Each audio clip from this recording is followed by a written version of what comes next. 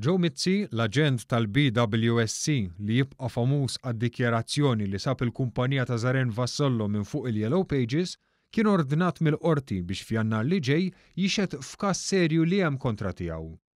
Żvelat dan il-gazzetta Kulħadd, li spjegat kif il-każ hu marbut mal-bini tal-power station tal-BWSC f'Dallimara fi żmien l-aħħar Gvern Nazzjonalista. Każ li dwaru għad hemm kawża pendenti l-Qorti li qed tinstema' quddiem l-Imħallef Anna Felice.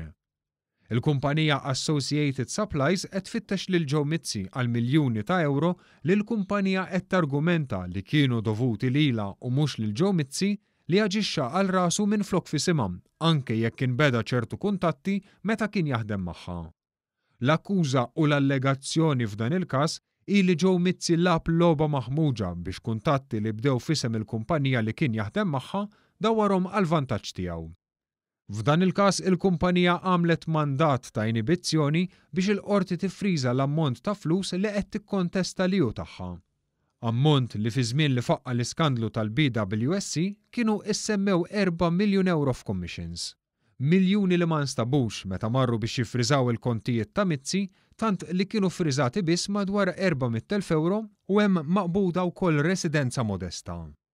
F'dan il-każ kienu żvelati sensiela ta' emails li wrew pressjoni u xibka ta' kuntatti li qajmu bosta mistoqsijiet. Saħansitra, rapport tal-Awditur Ġenerali kien qal li nstab dak li sejjaħ bħala smoke, duħħan, u meta eventwalment xehed quddiem il-Kumitat għall-Kontijiet Pubbliċi, l-Awditur Ġenerali kien għamel dikjarazzjonijiet li qajmu mistoqsijiet kbar. Fil-fatt l-eks Awditur Ġenerali kien tkellem fuq kif meta kien qed jagħmel ir-rapport kien hemm nies li ma kkoperawx mal-investigazzjoni tiegħu u li ma ftakrux. Fost dawn kien hemm l-istess Mizzi. Kien f'dan l-istess proċess li meta mistoqsi kif sab il-kumpanija ta' Zaren Vassallo biex tibni l-power station tal-BWSC, Mizzi wieġeb li mill-Yellow Pages. Dan fl-istess żmien li Chairman tal-Enemalta kien hemm bniedem li jaħdem għall-istess Vassallo, kuntrattur qrib ħafna tal-Partit Nazzjonalista. Fuq il-proġett tal-BWSC, l-Awditur Ġenerali kien elenka oxxenitajiet kbar oħra, fosthom kif f'nofs il-proċess Gvern Nazzjonalista kien bidel il-liġi biex min kien se jiġi l-aħħar jew ma jikkwalifikax, il-BWSC spiċċa jiġi l-ewwel.